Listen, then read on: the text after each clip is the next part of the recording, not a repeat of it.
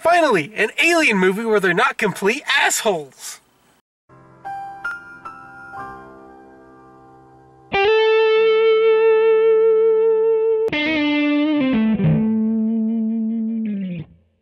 Hello and welcome back to another midnight showing. As always, I'm Kelly, I'm DJ. and we just got out of The Arrival.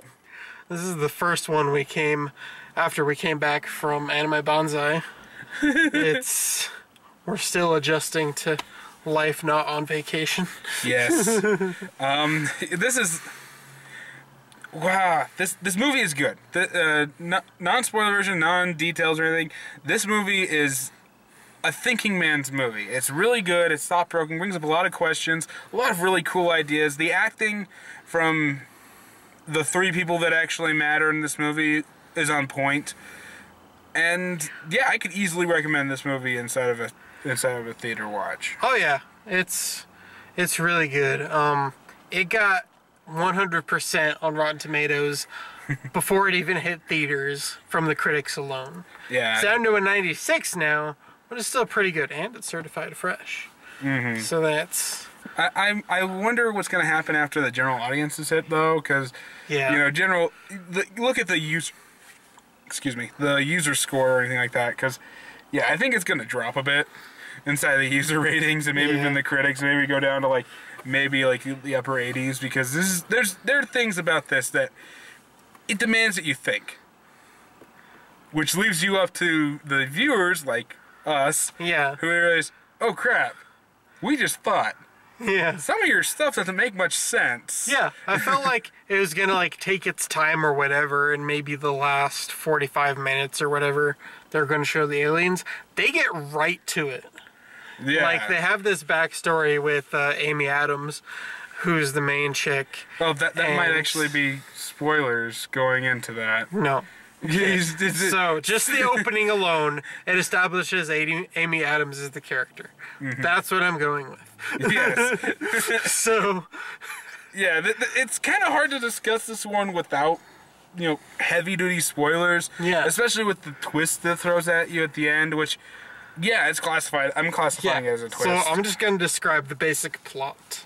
Amy Adams is a linguist, language professor at gen- enter generic college name here. yeah, I think that she's she's actually you know a little bit more. I think it's like the science of language. You know, Yeah. she's not just you know a translator or anything like that. She actually studies the history of the languages and why certain things evolved in certain ways. She actually goes into like the history of why you know dis became into our came into our dictionary. You know stuff like that. You know words origins and things like that. So she's hired on by the military after 12 alien ships just decided to land in random areas. Yeah, it drew. We were thinking it kind of drew parallels from 9/11, yeah, uh, well, Where everyone's people- reactions. where people just stop. Like everyone's like wherever else the rest of our students are. There's like four or five other kids in there, and their phones keep start going off one by one, and one of them says, "Can you turn the TV on to a news just, network?" just, just turn it on. Turn, turn it on now. That's yeah, That's how everyone basically reacted when 9/11 happened. Just like shock and awe of everything. So yeah. this, now that you have the general premise, I think let's go into the actual meat of this with.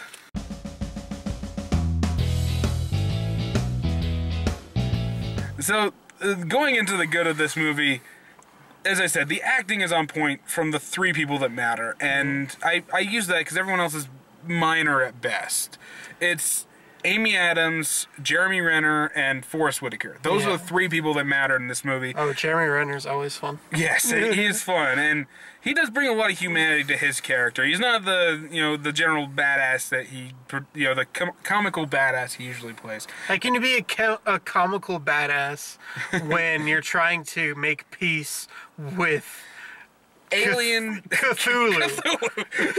yes, these these aliens are like Cthulhu versions of the Addams family hands. it's, it, it, it's it's they're great designs. It's just really, really out there. They're- yeah. they communicate. th- th- These are They're these very are truly alien. they're very non-humanoid, which is a nice change of pace. Mm. And as I said, Amy Adams is playing a very reserved character. You know, the trailer kind of make her look and act like Lois Lane a bit. Inside of this movie, though, she's like far from that. I'm gonna get that into that when we get to the bad. Yeah, th- th- there's kind of a flip side to that, and that's kind of touching on it. But she's actually playing a very, very broken person, or at least breaking person, I guess would be better, to avoid the spoiler of it until we actually have to talk about it in the negatives. And somebody thought dealing with aliens was gonna help that.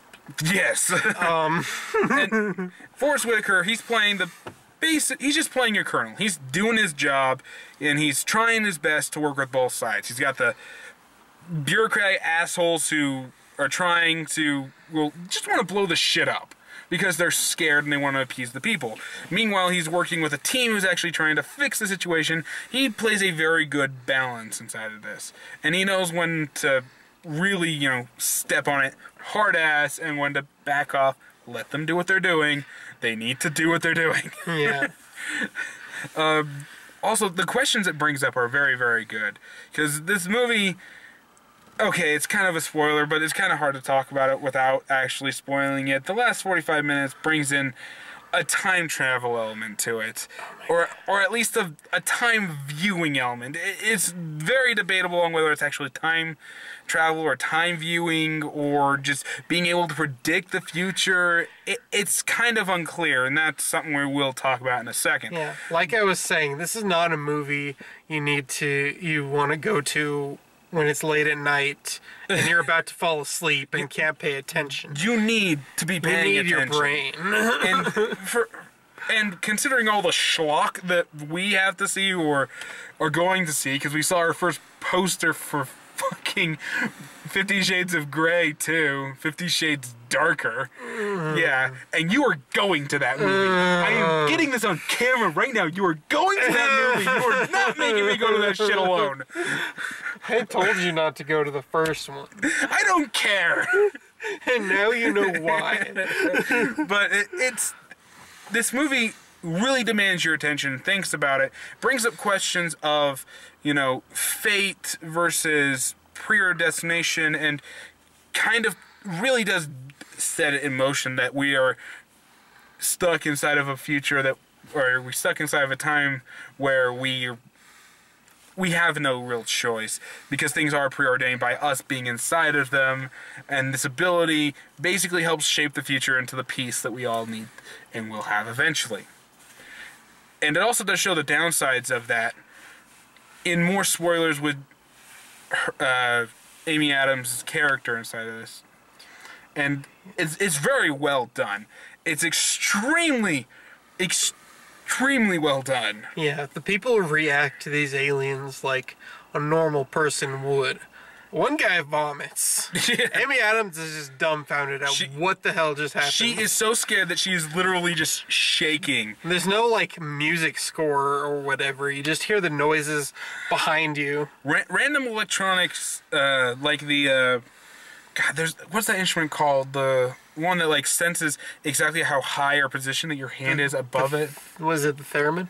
Theremin, I think that's what it is. Yeah. You know, it's it's a lot of noises from something like that, and there's no real you know big score or bombastic thing. It's complete mood noises, and it's off-putting to say the least. And that's what it's going for, and it's it's it really is just perfect in that regard. Yeah.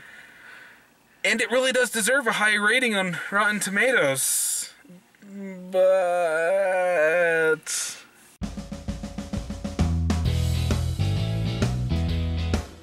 I said this. So I said this before, uh, or like after when we came out of the movie, because I wanted to save it for this. But this is, I was skeptical from the like first couple trailers that I saw because the whole thing looks drabbed out and like gray. At least they made it where it actually looked cloudy, like a storm was coming in their setting or whatever. yeah. And the fact that it's Amy Adams as one of the main roles I kept getting Batman v Superman or not or Man of Steel vibes from this. Yeah, this this looks a lot like Man of Steel, and that's not really a compliment to this movie because, you know, what's wrong with color? Exactly. Does does everything need to have a gray filter? I mean, for fuck's sake, the army are in camos that in real life would look bright green. Why do they look like they're black? I, I, I don't get this. You know, the most colorful thing on screen are their hazmat suits, which are just orange because it doesn't matter what filter you put over orange, it's gonna show like it's orange. and especially when you have the gray filter on everything in this movie gray, white, white, and black filters everywhere. Er, You know, there's no. Something like orange is gonna pop out and seem unnatural maybe that's what they were going for, but for fuck's sake, I would have preferred some color, especially when they got to the alien reveal. They're they're puke green. There's no other color we could have here. I mean, uh, don't get me wrong. You know, they're trying to go for realistic, and well, science has said that this would be a more realistic color for some for a. What do they call them? Hepalopods? Hy- Hypalopods? like something like that. It's like seven. It means seven arms. It's like Yeah. heptilopods or whatever. Yeah, it's it. You know, it probably is a more realistic thing, but why not make them a little more alien by make giving them something that shouldn't exist? You know, like a fluorescent green. Hmm. Make it really stand out that these things are not from our. It's it's a, that I just find really really annoying because it really does happen a lot, especially with Warner Brothers films these days. It's like everything's got to have that stupid gray filter on it. Well, if it's not realistic enough, we can't enjoy it enough. For fuck's sake, it's color. Let there be color. That's all I'm asking. And you know, while we're on the complaining train, let's get into some of the shit that doesn't make sense in this movie. I, I kind of alluded to it before. It this is a very well thought out movie, but here's the problem: everything that's thought out is a paradox. it's one of the biggest paradoxes you will ever see because this whole situation would not have been able to be resolved unless she could see the future. And yes, that's what Amy Adams starts doing is seeing the future in the form of movie style flashbacks. And you don't know that they're that she's seeing the future or anything until the last it's dropped on you in this plot twist in the last like 30 minutes of the movie. What you think is like uh, flashbacks that are showing her character how she was broken. No, they're actually flash forwards that she never acknowledges that something's happening to her. Even though she's supposed to be acknowledging these, and the whole climax of the movie depends that she actually is able to utilize this ability. So, what's going on? It's a paradox. She never would be able to see the future if the aliens hadn't arrived. She wouldn't be able to stop this attack and save humanity and unite everybody without this ability that she got from the aliens, which only would have come out if the aliens had shown up. Now, the aliens are non linear and they don't see time that way. So. They, they talk about maybe rewrite, rewriting her brain because she's starting to understand this language, but that was a dream sequence or hmm. not because the aliens were somehow inside of her bedroom. This doesn't make any sense. Yeah, I thought that was just a weird nightmare, like them getting into their heads, and I thought the aliens actually were going to be the villains. Yeah, but, but was it a nightmare? We don't know because apparently she can see the future because they gave her a special language thing that allow once she actually understood it, her mind start, started working in a way that she could actually see the future with it. It's it's really complicated, convoluted, and it's one giant paradox. You know, th- this whole concept was basically done inside of uh, a Ben Affleck movie back in like 2004, 2006 called uh, Paycheck. You ever you ever see that one? Paycheck. Nope. Ben Affleck in there is a reverse engineer, and he gets hired to uh, build something. But his little gimmick is that he doesn't like uh, when he goes into a project, he goes completely into a project, and then he wipes his memory of the entire project, only really taking the payment. So all he remembers is the. Uh, basically, he doesn't remember the work. He just remembers all the money and all the things he did with the money, kind of living in highlights type thing. after working on a secret project, which was only supposed to be uh, two years, but ended up being like six. No, no, it was like three months, but it ended, ended up being uh, like three years.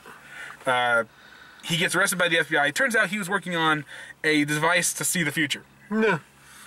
And uh, now that they have this device, you know, everything is preordained, which ends up just killing off the entire human race. You know, they foresee a plague. They round up all the people who would have, uh, who started the plague to try to prevent it, only to create a plague themselves because those people were in the same area for too long. You know, uh, the uh, the machines foresee as a war, so we commit first strike against the nation to try to prevent a war. Yep. You know, it, it that's basically what this movie is doing, but instead of, you know, everybody dies, everybody lives. Because one woman could apparently see a man's wife's last words. It's. There's no resolution to this paradox, and there's no way that the aliens would be able to foresee that in 3,000 years they would need humanity's help without there being some kind of resolution to this paradox. It's it's the thing about this movie. You you got me to think about it. And this is a thinking man's movie, and it brings up a lot of really important questions and uh, a lot of really cool ideas. But now you've got me thinking about it. Yeah. so now I've got to dissect it, and by dissecting it, you realize it doesn't make sense. Yeah, I would say it sounds good on paper, but in execution, you're gonna run into some plot holes. Well, at some point you did have it on paper, Yeah. because you had to write the script at some, Uh, t- at some point. and I think this was actually based on a book. I just remember seeing the arrival inside the book stand at Target. Really? So it it it, it might be a book also. So maybe it worked better in there and was better explained. Maybe there was a detail left out. I don't know. But from the Oh. film perspective, there's just too many things that don't add up. well, if it is based on a book, then we can see see it on the dome, Yes. see it on Lost in Adaptation. Well, he's got the next year of reviews already lined up, so we'll see how long it takes him to actually get to this. Yeah. I'm still hoping he's going to do Jack Reacher for uh, sometime soon because I want him to do it. Hey, Dom. Free plug. Lost in Adaptation, The Dome. And he's almost done with Harry Potter month, so please go do it. Yep. Oh, just what other negatives are there inside this film? There was a couple other ones I was thinking about on the way out of the theater. Damn it, I can't think of them now. It's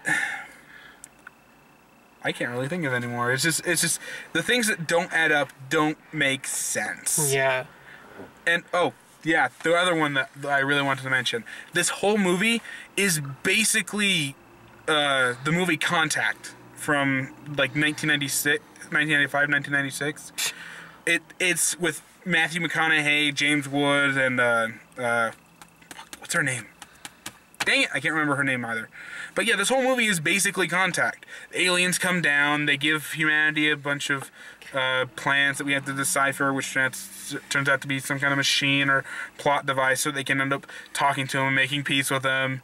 The difference is once again in the end ending. This one goes the happy-go-lucky ending, and oh well, everything's gonna be fine. The journey is much important, more important than the destination. We're all gonna be survive. Humanity is awesome. Uh, inside of Contact, you know, everything that she ex- experienced inside of the event, you know, was explainable by science. That you know, time dilation and stuff like that, because you went away from Earth, Earth and then came instantly back. So you're only gone for maybe a second, but you experienced like 18 hours. Uh, You essentially. so everyone just starts getting mad at her and, and questioning what you saw was completely fake and this was a giant hoax, wasn't it? And she's like, no, it's faith and belief. I knew what I saw happened and it's true and you have to believe me too. You know, that's the difference between the two movies. But they're essentially the same thing. You plot just- point for plot point. You just gave a review of three movies in one video. Ye- yes, I did, but it's it's got a contrast. It, it, it- because it's, this movie is so similar to these other movies that I've seen. It's just ah. Oh, this is what happens when you get me thinking. Ugh. And that's really the problem, is that it wants you to think, but if you think about it too hard, yeah, it kind of ruins the experience for you. exactly. So, yeah, you got any more negatives? Um, nope, that's about it. Just time travel hurts my head. This is this is why I stopped watching The Flash because it began to hurt my head really bad. Oh, wait until you get see, wait until you see season three. Doctor Who, I love David Tennant. He's the Eleventh Doctor is my favorite. Uh, David Tennant was ten. Ten, yeah, Eleven was uh, Matt Smith, yeah. and then techni- well, technically, technically David Tennant is eleven. War Doctor. Yeah, let's just re- write into someone like that because we couldn't get a hold of Christopher Eccleston for a freaking uh, anniversary. Yeah, every time they explain the plot twist in these episodes, in like a one-parter or like a three-parter, like The Master or whatever, Yeah, it time, begins to hurt your head. time travel. Yeah, it's it's complicated. So yeah, I mean, I think we basically said everything we're gonna say. So let's move on to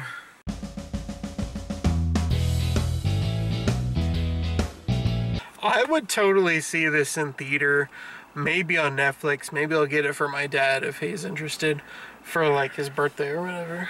Hmm. Whenever it decides to come out.